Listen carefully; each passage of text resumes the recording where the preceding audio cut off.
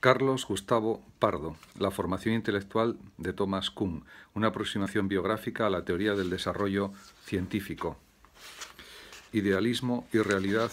en Kuhn.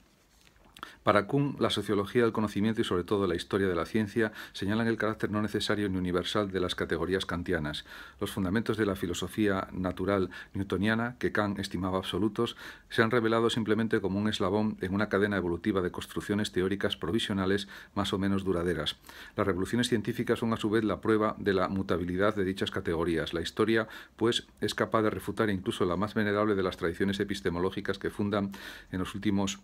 logros de la ciencia su confianza de encontrar las claves del conocimiento humano. Esto no quiere decir que no existan categorías mentales que cumplan dicha función legislativa sobre el conocimiento del mundo, solamente que no son absolutas, sino relativas al grupo que conoce y no son innatas ni universales, sino que dependen principalmente de la educación. En el campo de la ciencia, las preconcepciones, primero antecesor cuniano de los paradigmas, son las categorías que cumplen dicha función.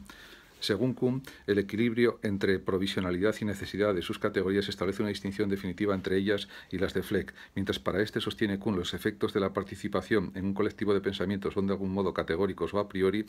es decir, lo que suministra a sus miembros el colectivo de pensamiento, es algo similar a las categorías kantianas, prerequisito de cualquier pensamiento en absoluto, las preconcepciones no son necesarias ni a priori. Su campo de acción, también a diferencia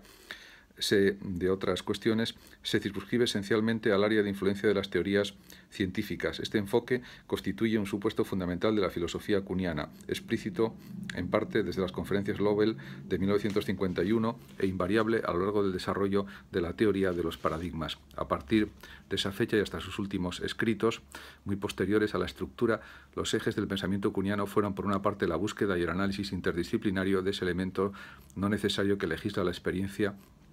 al modo de las categorías kantianas y por otra la descripción de su función en el desarrollo histórico de la ciencia, en particular en relación con las revoluciones científicas, las cuales señalan el momento histórico en que dicho elemento es capaz de evidenciar sus transformaciones.